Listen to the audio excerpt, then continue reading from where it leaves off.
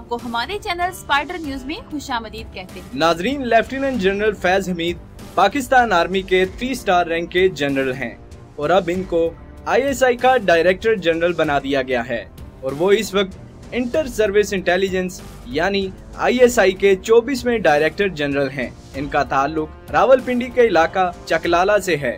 ان سے پہلے آئی ایس آئی کے سربراہ لیفٹیننٹ جنرل آصف منیر تھے۔ جبکہ لیفٹیننٹ جنرل فیض حمید اس سے پہلے آئی ایس آئی ونگ کے بھی سربراہ رہ چکے ہیں۔ اس سے قبل جنرل فیض حمید پنڈی میں کاؤنٹر انٹیلیجنس سیکشن کے بھی سربراہ رہے۔ جبکہ لیفٹیننٹ جنرل فیض حمید نے فیض آباد میں تحریک لبیک کے دھرنے کو ختم کرنے میں اہم کردار ادا کیا اور ان کے ساتھ معاہدے میں بھی شامل تھے۔ یعنی کہ لیفٹیننٹ جنرل فیض حمید اس عہدے کو سنبھالنے سے پہلے آئی ایس آئی میں خدمات سر انجام دے چکے ہیں۔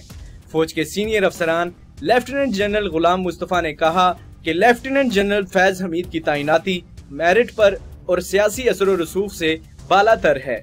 لیفٹیننٹ جنرل فیض حمید کو روان بلس یوم پاکستان کے موقع پر صدر پاکستان عارف الوی نے ہلال امتیاز ملٹری کے اعزاز سے بھی نوازا تھا۔ پاکستان کی خفیہ agency I S I Pakistan کی سیاسی اور عسکری دونوں سطح پر کام کرتی ہے۔ اور ہمیشہ اپنا ان پٹ دیتی ہے۔ آئی ایس آئی کا ڈائریکٹر جنرل ایک بہت بڑا اور طاقتور رتبہ ہوتا ہے۔ ڈی جی آئی ایس آئی کے پاس بہت زیادہ اتھارٹی ہوتی ہے۔ ڈی جی آئی ایس آئی اپنے ادارے کے اندر لوگوں کو رکھ سکتا ہے اور نکال بھی سکتا ہے اور واپس فوج میں بھی بھیج سکتا ہے اور یہاں تک کہ پوسٹ آؤٹ بھی کر سکتا ہے۔ اس اتنی بڑی تعیناتی سے پاکستان کی سیاست پر اثرات مرتب ہوں گے اور اب انکشاف کیا جا رہا ہے کہ سیاسی دہشت گردوں اور کرپٹ سیاست دانوں کو اب کسی قسم کی بھی کوئی رعایت نہیں ملے گی۔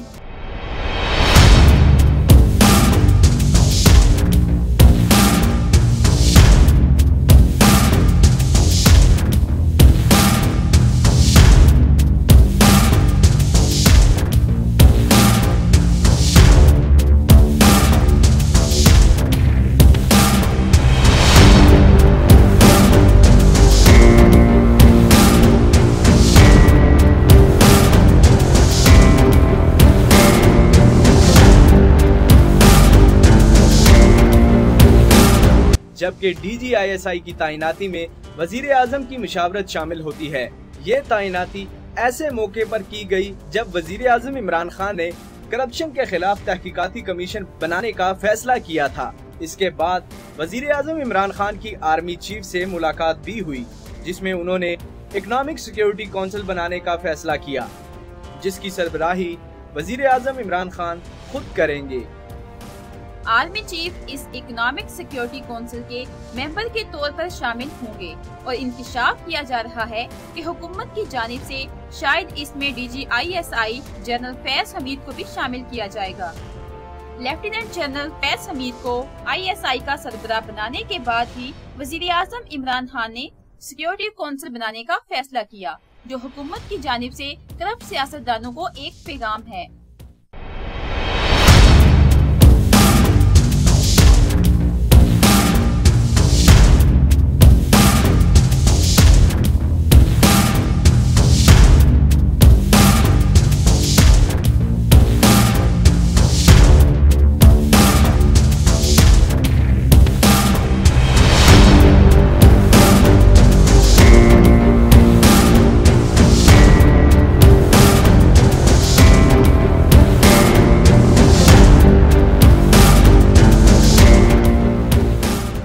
جنرل فیض حمید مافیا سے نمٹنے کا خاص ہنر رکھتے ہیں۔ ان کی تعیناتی نیشنل ایکشن پلان کے لیے انتہائی اہمیت رکھتی ہے۔ جنرل فیض حمید کا شمار فوج کے ان اعلیٰ اور اہم افسران میں ہوتا ہے جو آرمی چیف کمر جاوید باجوہ کے انتہائی قریب سمجھے جاتے ہیں اور آرمی چیف ان پر بہت زیادہ اعتماد بھی کرتے ہیں۔ جنرل فیض حمید وہی شخص ہے جن کے خلاف نواز شریف کے دور حکومت میں ان کے خلاف سیاسی پروپوگنڈا کیا گیا تھا۔ نواز شریف کی حکومت نے ان پر پی ٹی آئی کی حمایت کرنے کا الزام عائد کیا تھا۔ یہاں تک کہ نون لیگ کی جانب سے ان پر تحریک لبیک کی حمایت اور دھرنے میں ملوث ہونے کا بھی الزام لگایا گیا تھا، جبکہ وہ دھرنا جنرل فیض حمید نے ہی ختم کروایا تھا۔ نون لیگ نے اپنے ہی دفاعی اداروں کے لوگوں پر کیچڑ اچھالا تھا۔ اسی طرح اس وقت جنرل فائز عیسیٰ کا نام بھی منظر عام پر آیا تھا۔ انہوں نے اپنے فیصلے میں فوج اور خفیہ اداروں پر بلا وجہ تنقید کی تھی اور فوج میں سیاسی مداخلت کا الزام بھی لگایا تھا، جس کے بعد فوج نے عدالت کو کہا، جسٹس فائز عیسیٰ نے بلا وجہ فوج پر تنقید کی ہے اور فوج کی ساکھ کو کمزور کرنے کی کوشش کی ہے۔ اس کے باوجود جسٹس عیسیٰ فوج کے خلاف بیانات دینے اور الزامات لگانے سے باز نہ آیا۔ لیکن جب پی ٹی آئی حکومت آئی تو حکومت نے جب بیرون ملک پاکستانیوں کی جائیداد اور اکاؤنٹس کا ڈیٹا نکالا تو اس ڈیٹا میں جسٹس فائز عیسیٰ کا نام بھی آیا۔ پھر اس کے خلاف انکوائری شروع کر دی گئی۔ اب حکومت نے جنرل فیض حمید کو ڈی جی آئی ایس آئی بنا کر فوج مخالفوں کو پیغام بھیجا ہے جس شخص کے خلاف تم پروپوگینڈا کر رہے تھے، اب وہی تمہیں احتساب کے کٹہرے میں لا کھڑا کرے گا۔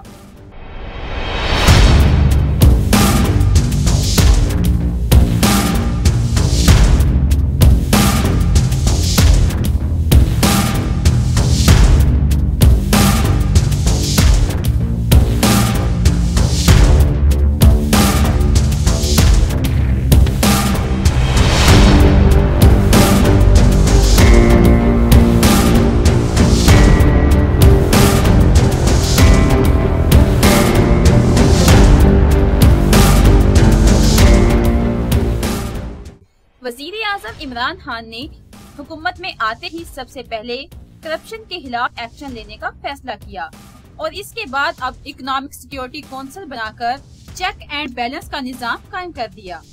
اب چاہے کوئی بھی حکومت ہو، وہ اکنامک سیکیورٹی کونسل میں جواب دہ ہوگی۔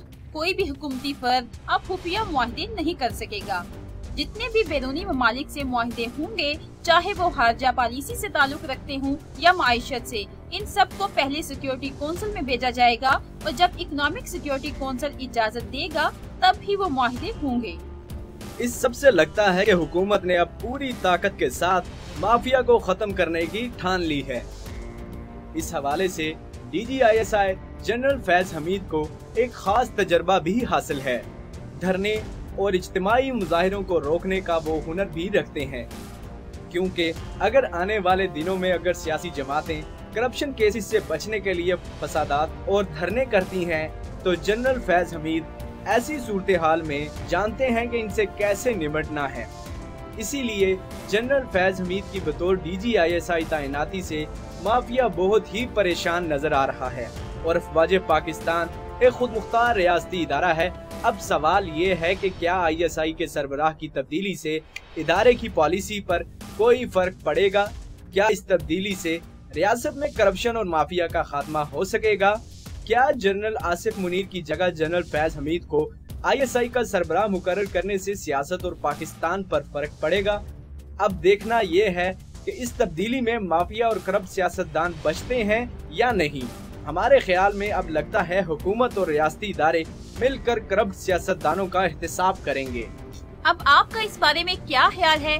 کمنٹ میں ضرور بتائیے گا۔ تو ناظرین، امید کرتے ہیں کہ ہماری آج کی رپورٹ آپ کو بہت پسند آئی ہوگی۔ اور اگر آپ چاہتے ہیں کہ ہماری آئندہ بھی ایسی ہی رپورٹس آپ تک پہنچتی رہے تو ہمارے چینل کو سبسکرائب کریں اور بیل آئیکن کے بٹن پر کلک کر دیں تاکہ ہماری تمام رپورٹس سب سے پہلے آپ تک پہنچیں۔ بہت شکریہ۔